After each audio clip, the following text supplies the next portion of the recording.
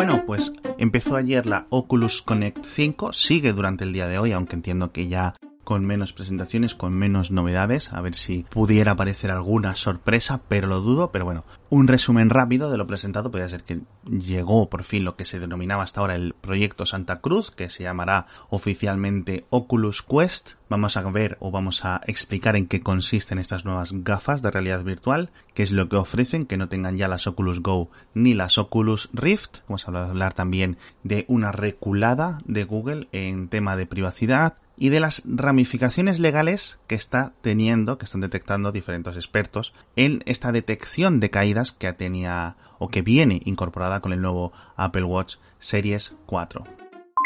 Pero bueno, ya sabéis que el patrocinador de esta semana son los de Colchones Marmota. Entráis en comunamarmota.com. Ya os digo, cambiar un colchón es una inversión que haces en tu salud, en la calidad de sueño que tienes, en lo bien que te despiertas por las mañanas. Y los colchones de como una marmota.com son mucho mejores y mucho más baratos además que los de IKEA, que los de la típica tienda de muebles, la típica sección de colchones roñosos que hay en un centro comercial que están manchados ahí con los zapatos de todo el mundo que se ha sentado, que compartes almohadas con las garrapatas de cualquier persona, ¿no? Bueno, pues entráis en como una marmota.com, elegís el colchón que queréis, envío gratuito, os llegan 24 horas, tenéis 100 noches para probarlo y encima se puede pagar a plazos directamente desde la web al 0% de interés, con lo cual, bueno, más ventajas no podéis tener. Así que ya sabéis, como una marmota.com, que seguro que os va a venir muy bien.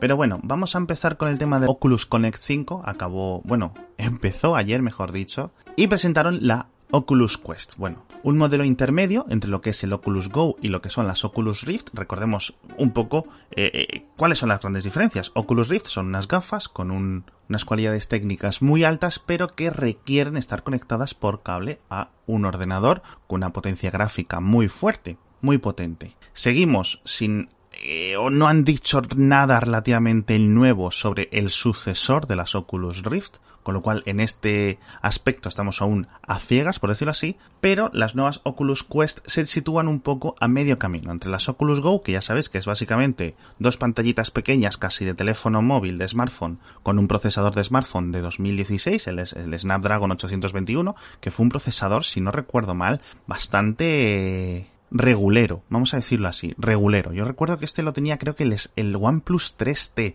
y otros teléfonos de la época. Estamos hablando de teléfonos un poco ya viejetes. Y bueno, estas nuevas Oculus Quest tienen una resolución mayor, tiene una resolución de 1600 x 1440 en cada ojo, comparado con las Oculus Go que creo que tienen como 1200 x 1440 o algo así. Tiene 64 GB de memoria y tienen dos bandos táctiles que te van a permitir además libertad total de movimientos. Tiene cuatro cámaras conectadas, ¿no? Eh, en la parte frontal, la parte del visor, y es lo que van a hacer el seguimiento de los mandos. En principio, ellos han dicho que de seis dimensiones, es decir, las seis formas en las que puedes mover el mando. Ya sabéis que hay algunos visores de realidad virtual, sobre todo un poco los más viejitos, que cuando echas el brazo hacia atrás deja de detectarlo bien, el movimiento, con lo cual, bueno, pues es un poco raro. Y bueno, va a tener un precio de 400 dólares, no se sabe aún el precio en euros, no se sabe el, el, precio en otras monedas y tampoco sabemos la fecha exacta. Han dicho que a lo largo de 2019, yo supongo que más bien pronto. Sobre el procesador, pues en principio en el escenario no dijeron nada y luego cuando la prensa preguntó reconocieron que tenía un Snapdragon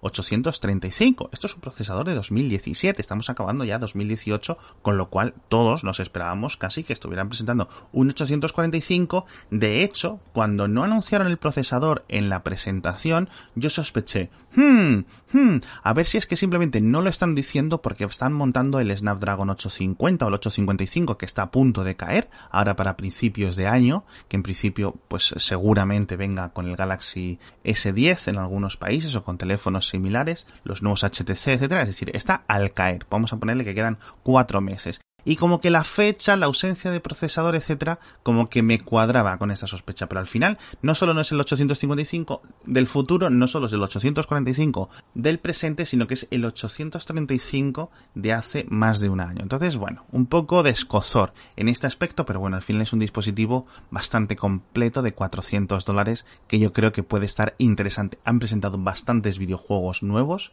Vamos a ver si hay alguno, ¿no? Que se convierta en rompedor, hay algo que, digamos, eh, haga que la gente las utilice o las quiera comprar. Pero bueno, esto en cuanto a videojuegos, en cuanto al hardware. En cuanto al software, las ventajas propias del cacharro. Bueno, han mejorado lo que es el sistema principal, la pantalla de inicio, por decirlo así, donde estás haciendo cosas básicas. Y también han anunciado dos ventajas. Una, nuevos avatares tridimensionales que son esta representación nuestra que tengo que decir que dan un poco de miedo porque son las típicas facciones que no se mueven son un poco así un poco que asustan. Y una sorpresa agradable es que por fin han llegado a un acuerdo con Google para incluir YouTube dentro de Oculus. Ya sabéis que YouTube estaba limitado a la plataforma de realidad virtual de Google, que es Daydream, y Google por fin ha dicho, pues no sé si es que Daydream está funcionando mal o lo que sea, pero bueno, Google se ha decidido a sacarla también para Oculus. Así que bueno, algo más que se pueden hacer con estas gafas, porque bueno, ya tenía algunas plataformas, algunas aplicaciones de vídeo, pero YouTube obviamente pues es la más grande y es la más interesante pero bueno, dejando la realidad virtual atrás, vamos a hablar dos cositas de Apple. Una especie de sospecha que se ha levantado durante los últimos días sobre Mm, las dudas ¿no? que han despertado a los dueños de los iPhone 10S porque en las fotografías que se están sacando, en las selfies, su piel, su tez sale pues con menos imperfecciones, sale como muy lisa, como un poco artificialmente lisa, que es algo que estaban haciendo muchos teléfonos móviles durante los últimos años con estos filtros de belleza. Claro, la gracia de los filtros de belleza es que los puedes desactivar. Y en principio está diciendo la gente, oye, mi piel, por ejemplo, si me saco una selfie con el iPhone 10 y una con el iPhone 10S, me noto la piel como más lisa, más no sé qué, más cuidada, por decirlo así, con las fotografías que capturo con el iPhone 10S. ¿Será posible que el iPhone 10S o que iOS 12 incorpore un filtro de belleza oculto que no se puede desactivar porque no está en ninguno de los ajustes o será cuestión de el propio Smart HDR del propio filtrado de algoritmos yo me inclino más por la parte segunda más que porque Apple haya incrustado un modo belleza sin decir nada a nadie y sin poder ser desactivado con lo cual yo creo que son pues eh, efectos un poco eh, artificiales por decirlo así de este modo Smart HDR de o de los nuevos procesados o reprocesados algorítmicos que haga el nuevo motor neural de la cámara del iPhone 10S. Vamos a ver en qué queda la cosa. A mí, yo los cambios, las diferencias en las fotografías, os dejo un enlace, tampoco me parecen muy notables. O sea, te tienes que fijar muy, muy mucho. Y la verdad, he visto alguna gente que está haciendo como de esto algo muy exagerado y a mí me está pareciendo, pues, una cosita casi inapreciable, pero bueno, vamos a ver en qué queda la cosa. Siguiendo con Apple, recordamos que el Apple Watch Series 4 incorpora una detección automática de caídas, ya que tiene unos nuevos eh, sensores que detectan aceleraciones hasta 32 G, que es bastante alto, y bueno, puede detectar cuando nos caemos y si no nos movemos después de la caída detectada, llamar a los servicios de emergencia, enviar un mensaje a nuestro contacto designado, e incluso emitir una alerta sonora para que alguien que esté cerca de nosotros en nuestra casa, etcétera, se levante si es por la noche o se dé cuenta que nos hemos caído. Bueno, pues como hace esta llamada los servicios de emergencia, obviamente las policías, las ambulancias, etcétera, están obligados legalmente a entrar en tu casa a rescatarte, no solo en Estados Unidos, sino en múltiples países, obviamente. Quiero decir, para eso están. Entonces, ¿cuál es el problema? Están diciendo expertos legales que una vez que la policía esté en tu casa, dependiendo también de la jurisdicción, dependiendo del país, de las normas de cada país, pueden utilizar en tu contra cosas que se encuentren una vez que han entrado legalmente en tu casa. Es decir, imagínate que entran y tienes ahí pues un poco de marihuana o algo que sea ilegal. Pues entonces, como la policía ya ha entrado legalmente a tu casa, tiene la responsabilidad legal de denunciarte por esto. Es decir, primero te curan te llevan al hospital, pero luego tocotó, ¿no? Una visita al juzgado, cortesía, por decirlo así, del Apple Watch. Entonces, bueno, hay que tenerlo en cuenta. Por cierto, sobre la detección de caídas, tengo que decir que estoy leyendo a bastantes personas en Twitter que afirman que le ha detectado la caída de forma eh, falsa, que le ha dado un falso positivo. Pues tengo el reloj, se ha caído el reloj cuando estaba suelto, cuando estaba en la mesa, cuando estaba en la mesita, cuando estaba no sé dónde, y se ha activado la detección de caídas y ha empezado a hacer esta llamada o emitir estas alertas. Esto es relativamente preocupante porque al final esto es una cosa, un tema de usabilidad, que no debería de ser así. Es decir, si el reloj se cae por su cuenta, no debería de activar la detección de caída. Debería de comprobar en todo momento que está situado o al menos que está puesto en una muñeca. Es decir, que por ejemplo los sensores están detectando que hay un pulso, que hay una muñeca puesta. No sé si Apple conseguirá arreglar esto con una actualización de software, pero yo creo que es interesante ver cómo evoluciona esto, una función súper útil, súper útil, pero que, bueno, pues tiene estas ramificaciones legales que pues eh, nos estamos encontrando ahora. Y cambiando, dejando atrás Apple, me gustaría hablar de algunos temas rápidos para acabar el podcast de hoy. ¿Recordáis que hace unas semanas hablamos cómo con la versión 69 de Chrome añadían una función, la gente de Google, los ingenieros, para que en cuanto estabas logueado, activado, conectado en tu cuenta de Google, el propio navegador encontrase esas cookies y te identificase automáticamente, es decir, que estuvieras conectado no solo en la web de Google, sino en el propio navegador. Esto, que ya digo, lo comentamos hace varias semanas en, en Mixio, hace un par de semanas, y una semana después ha empezado la prensa general tecnológica a hacerse eco del tema. Bueno, ya sabéis, una de las grandes ventajas de escuchar Mixio es que te enteras de las cosas antes que el resto del mundo. Pero bueno, el caso es que esto se ha hecho bola, se ha hecho bola, se ha hecho bola y los ingenieros de Google han hablado, han respondido. ¿Por qué han hecho esto? Dicen, no, es que esto lo hemos hecho para la gente que comparta ordenador, para que sepan en todo momento que su cuenta está ahí activa, etcétera, etcétera, etcétera. Esto a mí no me convence, esto para mí es una forma de estas cosas que se conocen como patrones oscuros, es decir, decisiones de interfaz, decisiones de diseño, decisiones de usabilidad que se hacen con el objetivo de confundir al usuario y de sacar más provecho de él. Muy típico, por ejemplo, en las webs de aerolíneas, en las webs de hoteles, etc. Y Google se defiende diciendo, no, no, hombre, es que esto, una cosa es que el navegador te detecte que estás conectado y otra cosa es que el navegador sincronice tu cuenta, porque ya sabéis que una de las grandes ventajas de Google Chrome es que sincroniza tus contraseñas, sincroniza tus favoritos, tu historial, etcétera, etcétera, etcétera, a través, ¿no? De múltiples navegadores, en múltiples equipos, en el móvil y en el escritorio, etcétera. Dice, no, es que si estás conectado a tu cuenta de Gmail, por ejemplo, pero sin la sincronización, esto nuevo, ya digo, no hace la sincronización. Y entonces han mm, decidido, después de esta queja masiva de los usuarios, recular, ¿no? Han propuesto varios cambios para la versión de Chrome 70. Dicen que van a poder desactivar esta función, algo que a mí me parece una muy mala decisión, no solo porque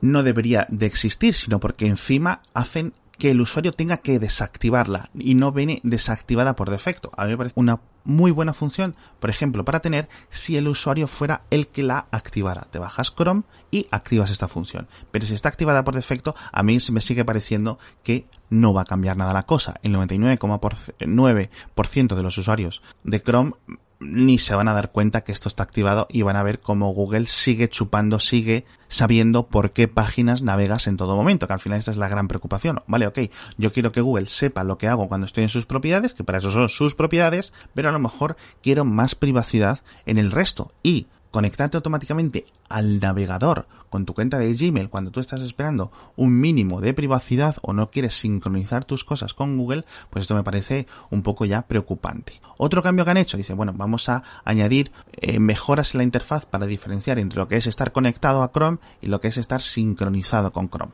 Bueno, esto me parece bueno relativamente porque el cambio que viene anterior me ha parecido bastante malo. Y luego el último cambio es que dice que van a cambiarlo para que eh, cuando elimines las cookies del navegador, también elimine las de Google, que es una cosa que también habían añadido, que ya es que tiene guasa la cosa. Es decir, si yo le doy a Chrome a eliminar las cookies, me elimina las de todos los dominios, menos las de Google. Pero ¿qué es esto, tíos? ¿Pero qué es esto? Es que no tenéis, no es que son, se ríen de nosotros, se ríen de nosotros. Mira que yo puedo defender a Google con un montón de cosas, un montón de ventajas, un montón de servicios que nos dan gratuitos, que si Google Fotos, que si Gmail, que si no sé qué, que si no sé cuánto. Pero tío, que si borro las cookies del navegador, quiero borrar las cookies del navegador. Es que luego os quejáis de que os caen las multas casi cada mes. Es que, ah, de verdad, que a veces es para darles de comer aparte a esta gente. Así que bueno, parece que en, Chrome 70 eliminar las cookies vuelve a eliminar las cookies. Algo que, oye, pues mira, se agradece. Yo sinceramente sigo recomendando que uséis navegadores alternativos a Chrome, que uséis Edge en, en, Windows, que uséis Safari en Mac OS, que uséis Firefox en casi cualquier eh, sistema operativo en el que estéis y que incluso en móvil, yo soy muy fan de Brave, que está basado en Chrome, pero, digamos, viene con su capa de privacidad, viene con un montón de novedades y una desgoogleización, por decirlo así, de lo que es el navegador. Y es mi navegador favorito para móviles. Y bueno, muchísimos más que temas en la newsletter. Hoy ha venido una newsletter, un boletín muy cargado. Hemos comentado temas de Apple News, hemos comentado temas sobre Hulu y sus nuevos propietarios. Resulta que Disney se puede hacer con el 90% de Hulu y esto dices, oye, ¿y qué va a hacer Disney con dos grandes plataformas de vídeo, con Hulu y con el nuevo sistema de vídeo bajo demanda que se supone que están a punto de lanzar con películas y con cosas de Star Wars, de Pixar, de Marvel propias exclusivas como para luchar con Netflix. ¿Será capaz eh, Disney de tener dos servicios de streaming a la vez? ¿Va a convertir Hulu en este otro sistema? ¿Va a renombrarlo? ¿Qué es lo que van a hacer? Porque Hulu es una cosa ya muy grande, tiene 20 millones de suscriptores. Entonces, bueno, hay que estar un poco al loro. También hablamos del nuevo estreno de Serial, el podcast ya sabéis más popular del planeta, que rompió récords de descargas, con 1,4 millones de descargas en 14 horas después del estreno de la tercera temporada. Bueno, y en general, muchísimas cosas más. Recordad que todos estos enlaces, además de en el boletín, están en las notas del episodio, con lo cual lo podéis leer ahí mientras escucháis el podcast. Y de nuevo, os recuerdo, ayer publicamos la o el cuarto episodio de Cupertino, el podcast dedicado a Apple que hacemos o que hago en Vixio. En él hablaba de todas mis impresiones, de todos los puntos fuertes, los puntos débiles, etcétera, que me he encontrado durante mi primera semana utilizando un iPhone 10S. Y ahora ya sí que me despido, dando las gracias a todos por escuchar, dando las gracias a Marmota por patrocinar este episodio y nos vemos mañana.